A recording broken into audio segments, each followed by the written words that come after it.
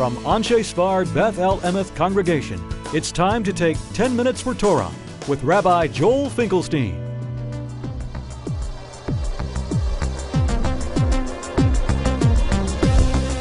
Welcome to our discussion of the roots of the grogger.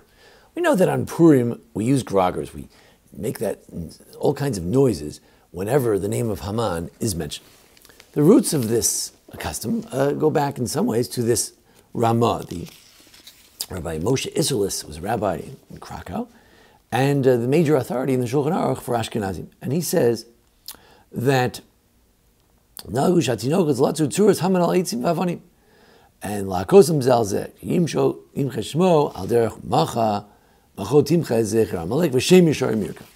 He says the original idea was that you would write the name of Haman or the picture of Haman on a rock or a or a piece of wood, and then you would hit the rocks one against the other so that his name would be blotted out, as it says, blot out the name of Amalek, and also says in Mishle, the name of the wicked shall rot.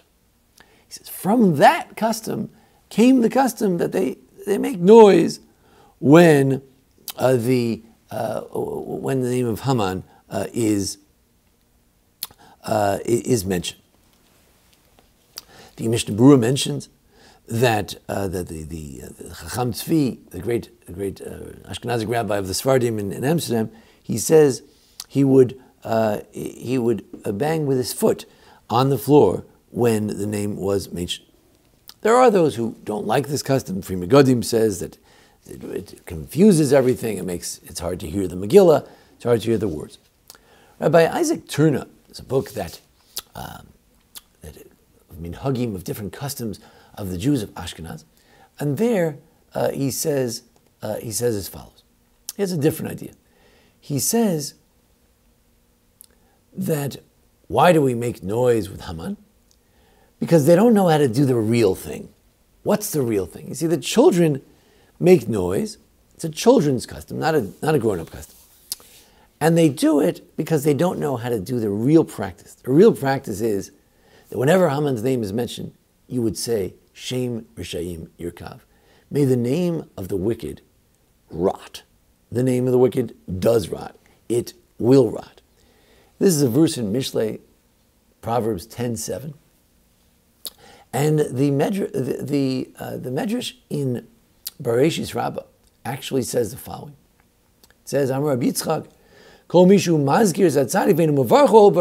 if you mention the name of a righteous person and you don't give him a blessing by saying, "Oh, zecher tzadik livracha," that, as the same verse in Mishle says, the name of the of the righteous should be a blessing. If you don't say that, you're violating the Torah because it says in Mishle that his name should be blessed. And anybody who mentions the name of a wicked person and doesn't curse him, like people say, Hitler, Yamach Shemo, may his name be blotted out. That's appropriate because if you don't do that, then you violated the idea of Shem Yishayim Yerkav, the same verse in Mishle in Proverbs, that the name of the wicked should be uh, blotted out. So says the Rabbi Isaac Tyrnau in the Sefer Minhagim in his, his, his, work about 400 years ago, a work about different customs of, of, of Ashkenaz of Germany. And he says, since the children don't know how to do the real deal, which is that every time that Haman's name is mentioned, we say Yemach Shemo, may his name be blotted out, or that the name of the wicked should be blotted out. Since they can't say those words, they're too young to remember that phrase, so they just make noise. So from there, uh, from there, he says, the custom came uh, to, uh, to, to, to, rather um, make noise, to, to make some sort of noise when Haman's name uh, is mentioned. The Medrash Rabbah in Breshis, and I thank Rabbi Baruch Simon for wonderful sources in his new sefer about Minhagim, in Baruch, he says the, the, um, there's a wonderful Medrash in Breshis Rabbah that says the following, that Rabbi Yonasan, that the famous Rabbi Yonasan, who was the Rebbe of Rabbi Shmuel ben Achmeni, great rabbi of Midrash and Agadah, he says, when he came to this pasuk in the Megillah, Asher Haglam Yerushalayim, Asher Haglam Nebuchadnezzar Melech Bavel, it says that, that Mordechai was exiled with Nebuchadnezzar, the king of Babylonia. When we get to that pasuk, he would say, Shchik Atzamos. May his bones, may his bones be ground down, uh, may his bones be, be rotted out. Why did he say something like that? Isn't that kind of insulting? Why, why, why did he say that? Because, after all, uh, after all, um, after all, um, it says that Shemir Sha'im Yirkav. After all, the name of the wicked needs to be blotted out. Then it says right there, Rav, the famous rabbi, the first big rabbi in Babylonia, founded the Babylonian Talmud, he says, Ki havimati lahaman bepurim amar arurim uh, arurim arur Haman varurim banav. Whenever he came to the word Haman, he would say, Cursed is Haman and cursed are his children. In order to fulfill the verse, V'shem Yishayim Yirkav, that the name of the wicked should be blotted out. So, in fact, this custom goes way back, 2000, almost 2,000 years ago, perhaps uh, in the year 200, let's say, when Rav lived, he would, uh, he would say this verse, 250, whatever it was, he would say this verse, he would, every time Haman's name was mentioned, he would say, Arur Haman, Arur in Kol He would say the words that we say at the end of the Megillah. You see, at the end of the Megillah, we think that at the end of the Megillah we sing a nice song. No. At the end of the Megillah, we have an obligation. Since we heard the name of Haman so many times, we need to say Arur Haman. And since we heard the name of Mordechai so many times, we need to say Baruch Mordechai and Brucha Esther and, and Arura Zeresh. Cursed is Zeresh. And then we even say Am Charvona Zachulatov. Because it says in the Medrash, Amar Pinchas Charvona Zachulatov it, he says, you know, by the way, Charvona what does that mean? When the name of Charvona is mentioned, that assistant to Achashverosh, who we don't know whether he was an opportunist or a great uh, righteous Gentile, or whether he was really Elijah, or whether he was really an angel, but nonetheless, somebody called Charvona told, pointed out to Achashverosh that if you're wondering whether you should side with Esther or with Haman, I want to point out that the people that Haman is trying to destroy includes Mordechai. And Mordechai uh, was, was uh, on the hit list of Haman. Haman has a tree, very tall tree, to try to kill Mordechai, even though Mordechai has spoken favorably about the king. He saved the king's life. And so when you mention Charvona, you should say Zachur Latov. So then we get into a halachic question Rabbi Simon deals with. Wait a second. You mean in the middle of the Haggadah, of the middle of the Megillah, Rav, the great sage, would say other words? You're allowed to talk in the middle of the Megillah? You mean Rav Pinchas would, would say Zachula Tov in the middle of the Megillah? Uh, how could you possibly interrupt like this?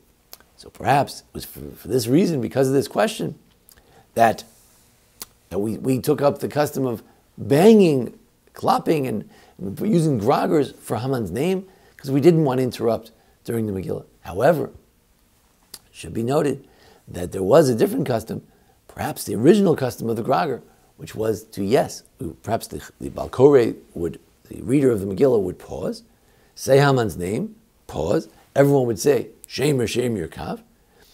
Nebuchadnezzar was mentioned, we say, Shachik Atzamos, may his bones be ground down.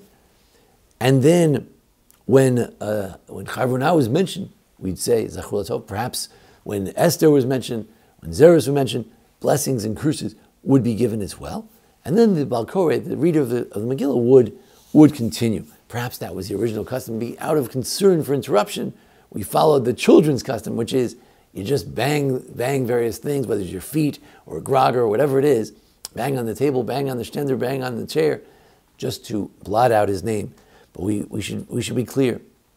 The idea of, the, of, this, of this custom is that we need to appreciate the difference between a tzaddik and a rasha.